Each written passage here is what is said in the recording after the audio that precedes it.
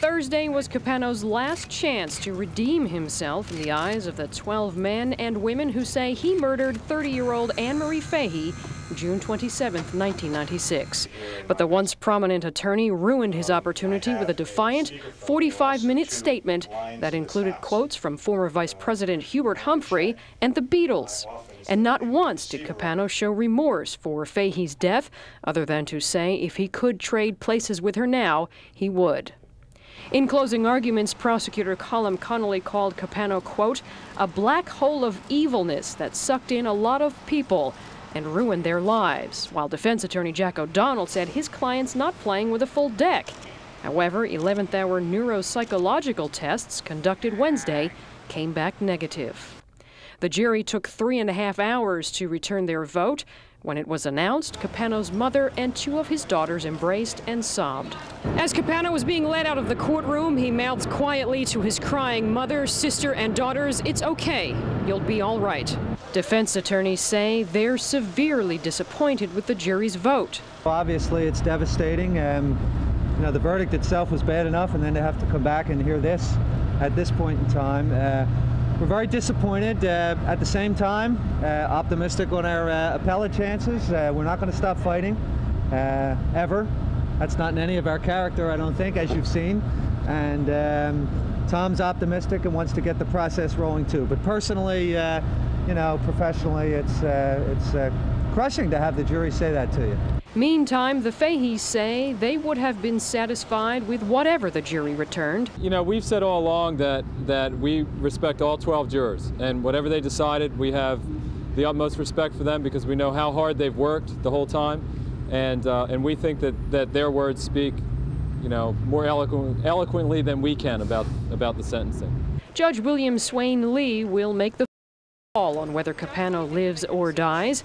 Last night he set no timetable for his decision. We wanted to establish certain facts through his testimony and um, reveal inconsistencies and uh, characteristics he had, and um, and I, I, think they were revealed. The jury itself, um, just from from observing them, they seem to be sort of a um, unified group. Just from what we could observe in the courtroom. And uh, uh, they seemed to be of the same mind about a lot of things. So it wasn't a big surprise, I guess, that, uh, that most of them thought the same way about the, the aggravators and mitigators.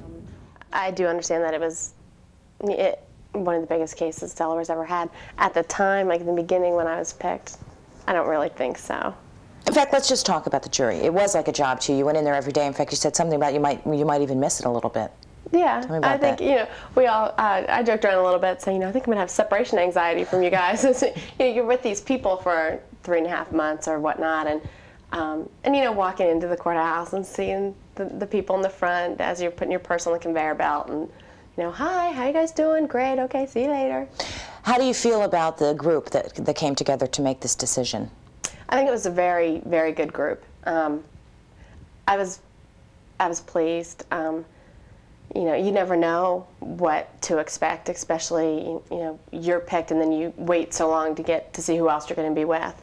Um, and I think it was a very good group. We all got along well and um, I think respected each other mm -hmm. as far as opinions and that right. kind of thing. Well, let's start with the process. What was the process like? I think a lot of people are just curious. Um, well, I think that after about three months of not being able to talk about something, there's a lot of venting going on.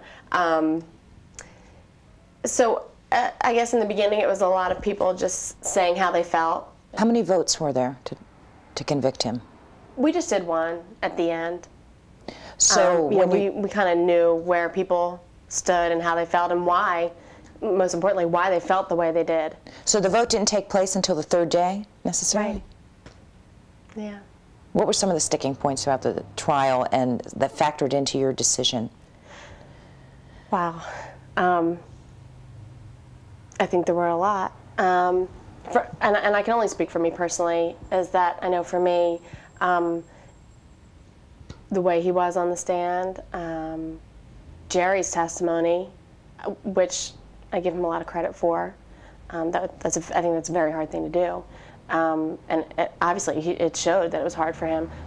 but his testimony, and of course his lawyer Dan Lyons, um, and the letters that, that Tom wrote to MacIntyre, and that, kind of said a lot. And then Marie's diary, things. Do you think there was a moment when you knew how you were going to vote? In the when verdict? I voted, I, I didn't know. I didn't. I honestly, I did not know until until I did that vote that that third day. There are many lawyers in town who say that Capano, quote unquote, hung himself when he took the stand. Tell us about your feelings when you watched Tom Capano take the stand and speak to you. Um, that, that's, I, I guess it's kind of hard to say. I, I'm not really sure because, first of all, he was up there for so long. Um, he did tend to talk a lot, in, in my opinion. Um, he didn't seem very remorseful, whether it was an accident or not.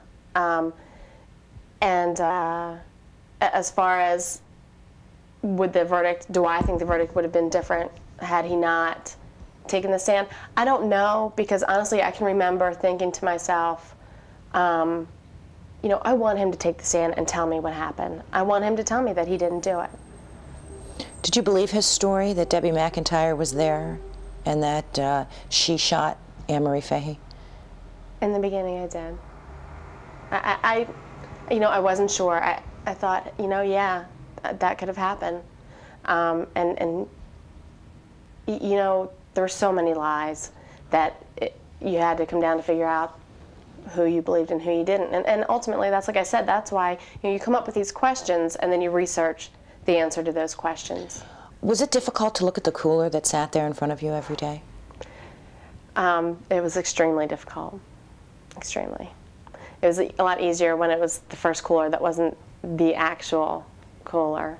Um, but yeah, because every time you look at that cooler, you immediately think that, um, you know, a person was was in there. The penalty phase was difficult on the jurors and uh, the people that were at the trial. Was it more difficult to have to go through the penalty phase than the deliberation of whether he was guilty or not guilty? Um, you know, for me, I'm not really sure because I think, for one thing, at that point, when you hit the penalty phase, um, it's almost like you've you've done the really hard part. You've made your decision, and and you've you- you've gone over so much information, um, and you know, I was so confident with with my decision It's like the Fahey's say, this is not a celebration. Uh, when they left the courtroom the day that the guilty verdict came down, the crowd cheered. Yeah, We could actually hear it outside. You could. When we were sitting in the courtroom, the courtroom was very silent. You could probably hear a pin drop, but then all of a sudden you heard this big roar from outside the other doors. How did that make you feel? Good.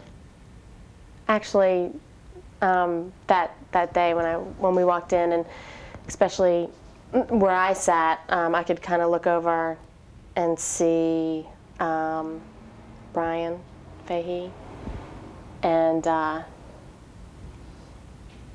I felt because I was so confident in my decision, and I felt so good that I did the right thing.